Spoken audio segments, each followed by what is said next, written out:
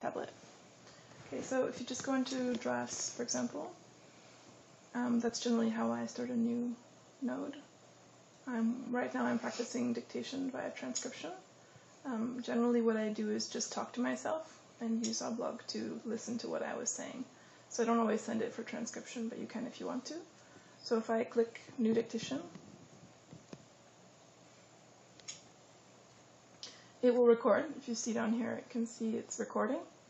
While it's recording, I can go do other things, like I can go to the browser, um, do a Google search, or I can go to my PDF, which I was reading, um, and do some annotations, summarize this page, go to the next Two page. groups summarize our primary motivation for this work, but other implications may apply. So, or listen to the PDF that I was reading. So, um, all of this can be done. Work has shown that the While AuBlog is running. prosodic boundaries is a complex one, and a number of acoustic correlates to prosodic boundaries, including speaking rate, intonation, intensity, and voice. So I can do all of these things concurrently.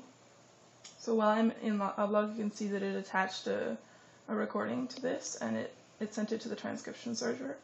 Um, and the, um, and while I'm waiting for my transcription to come in, I can check the status of it, which tells you like what your microphone is, the quality of your microphone, what's going on right now.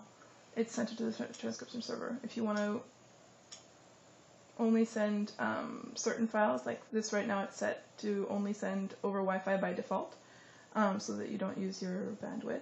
Okay, so that's what it looks like um, when you get your transcription results back. You can click on import if you can see the button, and it will put it in your blog entry.